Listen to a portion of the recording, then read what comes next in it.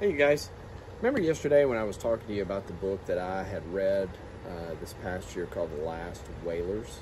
Well, I wanted to do a little bit of a book talk today, and we're also going to do something else with this. So, let me tell you a little bit about this book. This book is about a tribe in Indonesia called the Lamalarians. Now, the Lamalarians are one of the last tribes on the earth that feed themselves subsistently. That means they grow their own food or they hunt their own food. Well, these guys actually hunt their own food, and they're one of the last tribes in the world that are allowed to hunt whales subsistently.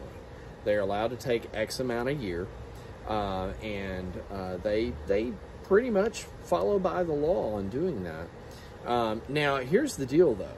They uh, hunt whales the way they've always hunted whales. They hunt whales in these large rowboats that they row themselves. And a guy stands on the very front end of that rowboat, which you're seeing there, the harpooner, and he holds an actual harpoon that they make by hand and rope that they make by hand. And he they wait till they get close to the whale and then the harpooner jumps off the front of the boat into the water. As he's passing the whale, he tries to harpoon the whale. Now, we actually have some pictures of this uh, inside this book, as you can see. It is a very dangerous activity, and the tribe depends on these men for uh, they they they're dependent on to get this whale. This whale will feed them for an entire season. I think they can live off of two or three, if I remember right. And once they get a whale and they bring it in, they cut up every piece of the whale and they divvy it out to every single tribe member. Now, the harpooner gets the largest sh share. He has the biggest risk. The guys are in the boat get the larger shares. But everybody gets some of the whale because everybody in the community played a part in getting the food in some way, shape, or form, whether it was making or repairing a boat, or whether it was helping make the harpoon, or whether it was cooking uh, the rice that would go with the food, or growing vegetables, or something like that. Everybody gets a share. Um, so, this is an amazing group of people uh, that you read about. Now, this book isn't just about these guys risking their lives to hunt a whale. It's also about the conflict that they are having in their modern, uh, in this modern day. See, the tribe meets once a year, and they decide each year if they're going to continue on with doing what they're doing or if they're just going to leave it all and go live in a modern city and work a modern job. And a lot of the young people actually do. They leave the tribe and they go across the mountains to some cities in Indonesia and they work jobs and they have cell phones and they have computers and then they start having things that they didn't have when they were in the tribe. See, in the tribe, it was hard. Life was difficult. I mean, you had to scratch out a living by hunting these whales. Um, it was dangerous.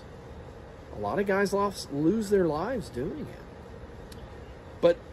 One of the things they didn't deal with a whole lot until they start, some, some of these young people start going into the cities and living a modern life, is they didn't deal with things like depression.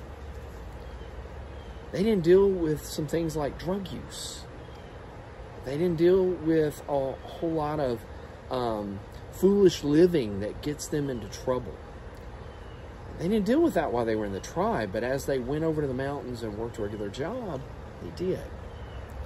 It's a very interesting book on the conflicts of life uh, as uh, simple like the ancients live versus life like we live in the modern world.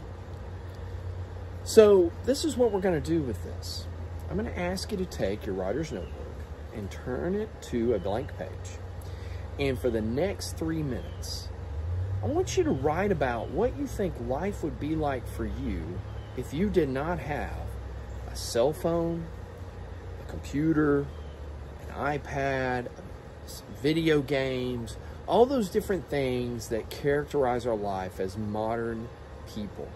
What would life be like if you didn't have those things? What would you do? Would it be better?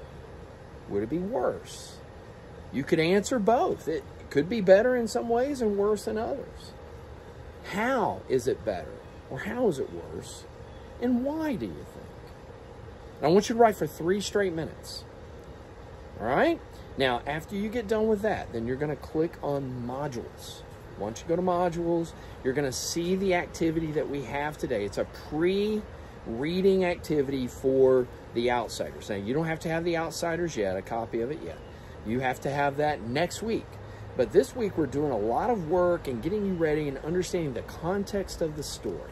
And, and part of that will happen today uh, as you click on that module and you'll see some instructions and, and, and you'll go through some slides and understand life um, in the uh, period of where the outsiders were written.